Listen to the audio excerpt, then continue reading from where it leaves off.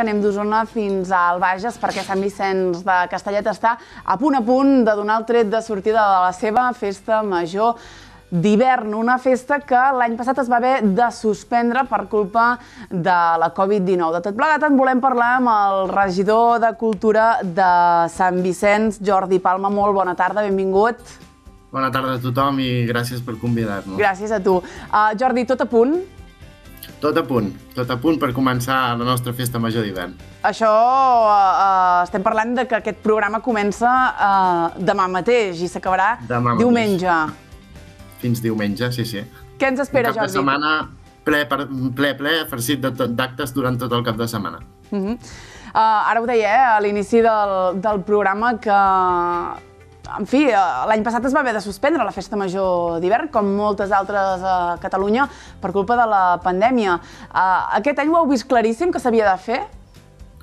Aquest any, quan la vam començar a planificar, perquè és evident que una festa major es treballa uns mesos abans de, de fer-la, eh, doncs pensàvem que ja la podríem celebrar amb uh -huh. certa normalitat i bé, ens ha passat que, com ens ve passant aquests, aquests dos últims anys, doncs no, no ha pogut ser així. Però bueno, tot i així, que serà una festa major encara marcada per la pandèmia, eh, amb totes les mesures de seguretat, però, però organitzada amb molta il·lusió i amb, i amb moltes ganes. I amb actes per tots els públics, però sobretot pensada per un públic familiar i, i també amb molta cultura popular. Vull dir, bueno, creiem que tot i, tot i la pandèmia, doncs, eh, doncs, la programem i, i amb moltes ganes de fer-la. Les ganes i, i la il·lusió que, que ara ens comentaves, Jordi, entenem que són el secret, no? la clau eh, per tenir força, per, per organitzar doncs, una festa major d'hivern en plena pandèmia, encara amb moltes restriccions.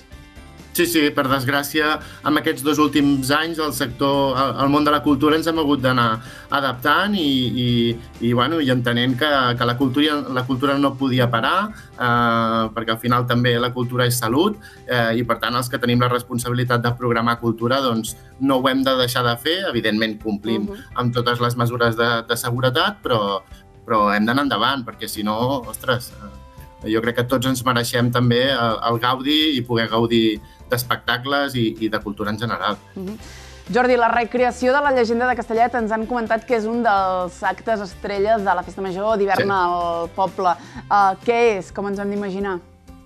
Bueno, de fet, uh, uh, ja fa uns anys que, que sempre se celebrava el, el Correfoc o, al, al nostre municipi. De fet, tenim molta tradició de diables i, i de bruixes i, i fa molts anys que es feia correfoc, però bueno, es va detectar doncs, que, que potser la gent ja no començava tant a entrar al correfoc, eh, a no participar-hi tant i es va intentar donar-li una volta. I la veritat és que es va aconseguir amb aquesta, amb aquesta llegenda de Castellet, que explica, és una llegenda fantàstica, però que explica doncs, eh, els barons de Castellet, eh, eh, doncs el baró com intentava, bueno, va, de fet va fer un pacte amb el diable per intentar eh, seduir eh, eh, amb una noia. Eh, uh -huh. I bé, doncs eh, la llegenda explica això eh, al voltant tot d'un espectacle de foc eh, molt bonic i, i bueno, amb diferents amb diferents, eh, normalment amb diferents places. Eh, ara, en pandèmia, doncs ho hem de fer més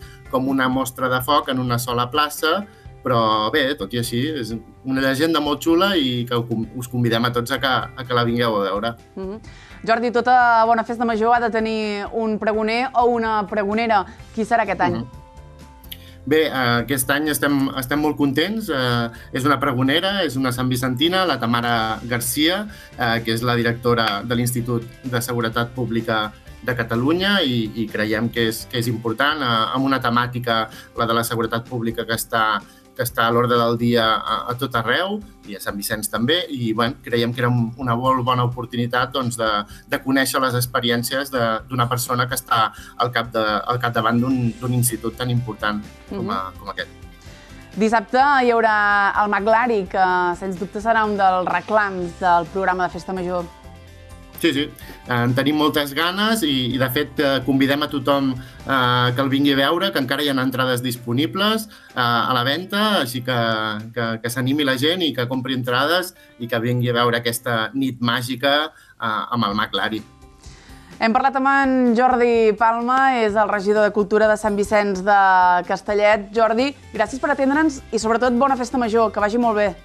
Gràcies a vosaltres i això, convidar tothom que vingui i gaudeixi de la nostra festa major. Gràcies. Que vagi molt bé.